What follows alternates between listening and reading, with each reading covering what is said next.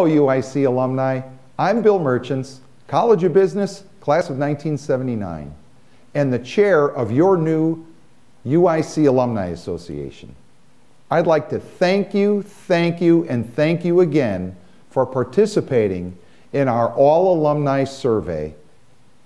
You know, your thoughts, your opinions of UIC, and especially the experience that you had while attending UIC are vital to our ability to build programs that will support our students, our alumni, and our faculty for years to come. So once again, thank you and go Flames.